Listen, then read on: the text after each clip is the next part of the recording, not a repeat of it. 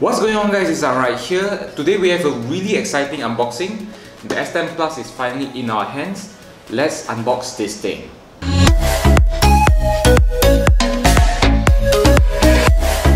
So if you don't know, the Galaxy S is actually uh, Samsung's most flagship uh, smartphone, just like under the uh, Note series. So this year is their 10th generation, that's why they call it S10. So they have made quite a big deal about this and then they have released three different versions of the S10. The S10 starts with the S10e which is like more of the basic version of the lineup and it starts at 2699 ringgit. And the S10 Plus right here is the biggest um, of the lot start, uh, which starts at 3699 ringgit. And you can upgrade it to a larger storage with um, 512 gigabyte for only 4599 ringgit the one we have here is just the base um, S10 Plus which has, comes with uh, 8 GB of RAM and 128 GB of internal storage. So let's open this box now.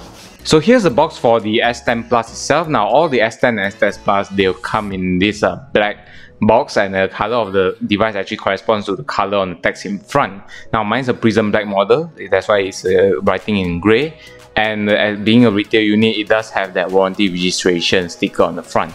There's also some writings on the back regarding the specs and the rest of the box is actually pretty clean apart from the side where it says the uh, Samsung Galaxy S10 Plus It's um, pretty barely um, visible as well. So mine does have a seal but uh, I can't wait to open it just now so I've broken that seal and lifting the top cover off removing that sticker the device is on top. Wow, the first impressions, this device feels expensive as usual. Uh, we're going to put it to the side and then we'll come back to that in a second. Now, the rest of the box contains the usual accessories. First, we have the USB um, uh, power plug. It does have uh, quick charge capabilities and one fun fact, um, because mine's a Prism Black model, it does come with a um, black color. uh, it's actually color coded to the black color um, as well as other accessories uh, in black color as well. And we have the USB-C to USB Type A adapter. It's a USB 3.1 actually, uh, 3.0, 3.1 actually. Um, then we have the USB Type C cable. Now this is for charging and um, data transfer. And we have, uh, be being the S Galaxy S flagship model, it does come with AKG tuned earphones. Now you thought the um, that's it for the box and you're wondering where's the paperwork and all the other stuff. Um, the There's a trick on the um, box cover itself. When you flip it over, there's another carton in there. I have no idea why Samsung did this. It does have your uh, tray remover tool which has and then opening up the uh, bottom itself You are presented with uh, a few documentations in various languages. You have your warranty card, getting started to your device. And of course, it does come with a case. Now, mine comes with a clear hard case. Now, some some people, uh, users have reported that they receive a soft case. Have your quick start guide, and that's it for the box itself. So being a uh, premium flagship smartphone from Samsung, the design of the S10 Plus will actually remind you of uh, more recent Samsung's uh, smartphones, including the previous last year's Galaxy S9 or even the Note 9 which was launched end of last year. So the, the curved display edges on the front and the rear side, the aluminium chassis with chrome effect in between, and the, uh, the feel of phone all adds up to Samsung's design language. It just screams this is our premium flagship smartphone. So the overall size is uh, pretty similar to the S9 Plus and this time Samsung managed to reduce the thickness to just 7.8 mm. So even with this Plus model, the dimensions are still smaller than the Note 9 so there's a bit of differentiation between the Note and the Galaxy S series. Now this design still stands out in the crowd and still easily recognizable as a Samsung smartphones. One of the biggest changes on the front is a new 6.4 inch display which is now a lot taller to actually fill up the front panel.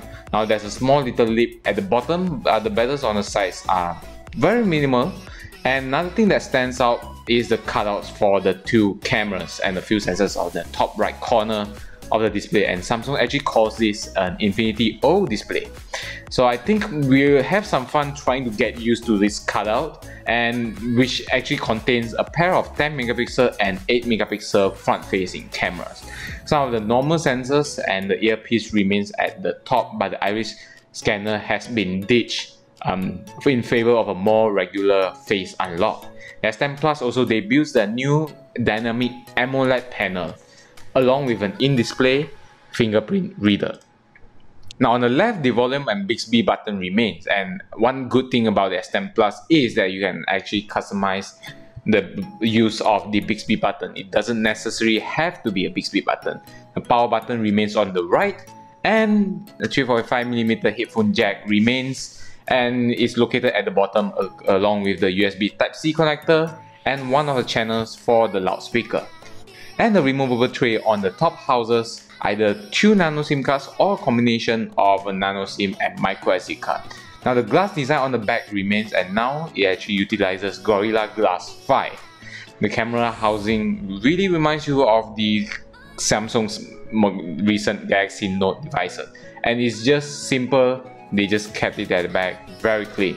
From the left there's a 12 megapixel telephoto zoom lens a regular 12 megapixel lens with dual aperture and dual pixel and the new 16 megapixel 123 degrees ultra wide lens with the first two having the optical stabilization and autofocus technology. There's also an LED flash uh, next to them and also the usual heart rate sensor that's present on more of the recent Samsung smartphones.